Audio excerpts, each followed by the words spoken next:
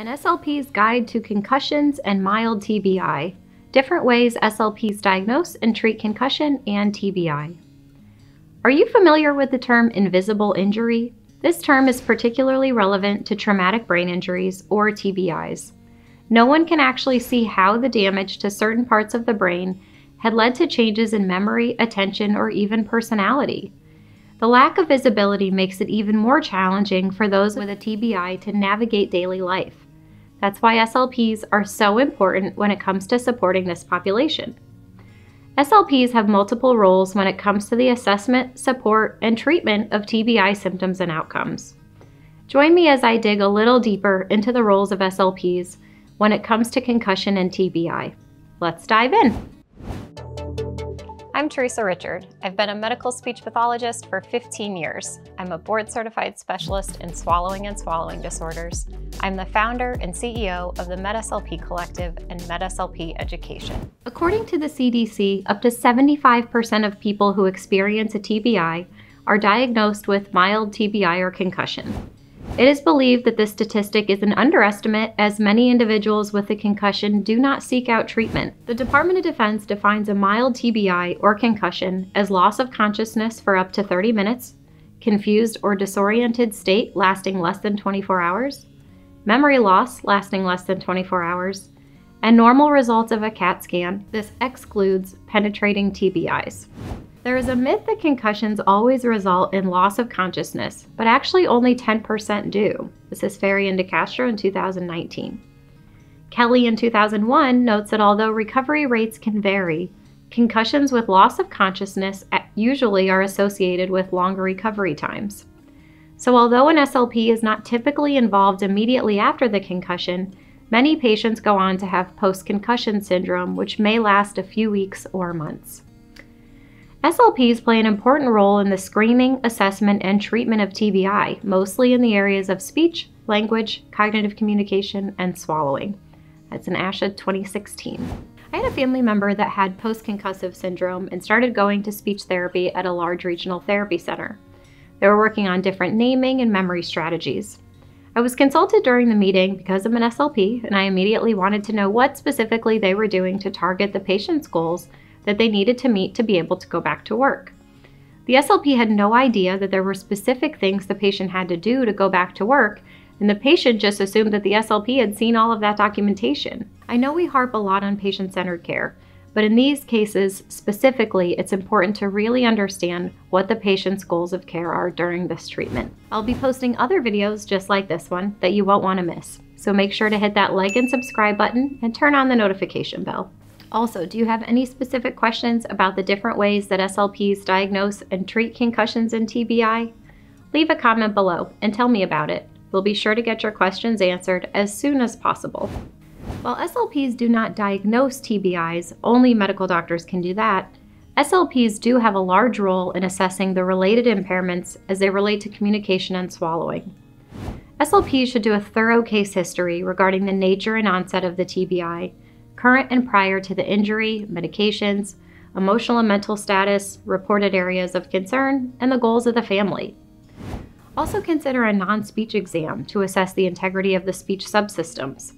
Speech production to assess vocal quality, motor speech planning or programming, speech intelligibility, and comprehensibility. Language, both receptive and expressive skills, and oral and written skills to differentiate between dysarthria, apraxia, and aphasia. Cognitive communication, such as attention, memory, and executive functioning, and swallowing functioning of various foods and textures.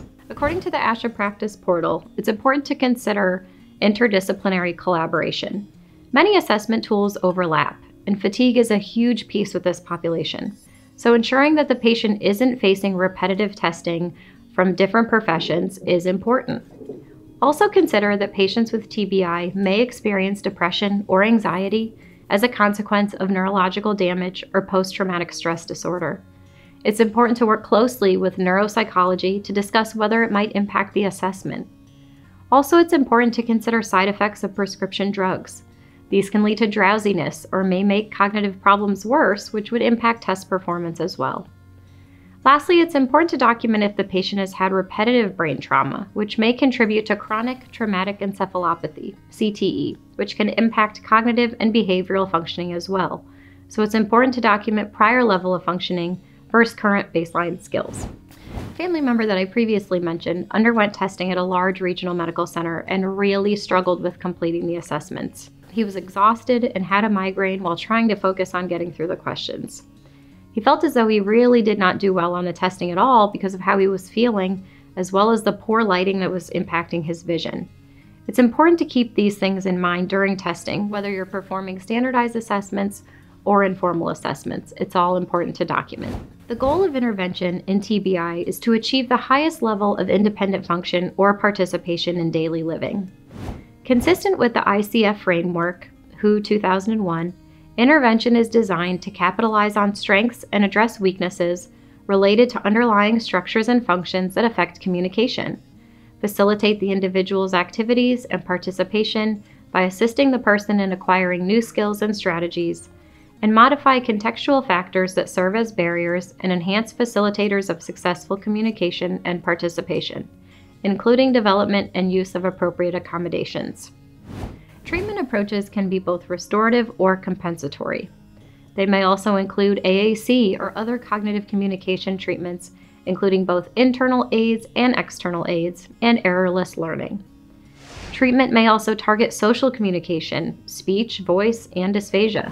SLPs may also want to collaborate with a PT who is trained in oculomotor disturbances to help with treatment planning.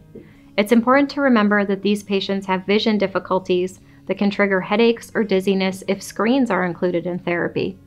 It's important to work closely with the patient on goals that are important to them. Many times, our treatments will target impairments that they need to improve to return to work or school. I have a friend that was diagnosed with post concussive syndrome and presented with orthostatic hypotension as well as oculomotor disturbances. He had difficulty with a lot of the activities that were required of him in speech therapy because reading, writing, and any sort of movement gave him horrific headaches. The SLP did work with a PT, and they came up with some ideas on ways to target his SLP activities while keeping the dizziness at bay. It showed collaboration at its finest. We have a free resource for you from the MedSLP Collective all about mild TBI and concussions. Head over to medslpcollective.com to get your hands on this free resource now. The link to the resource will be below.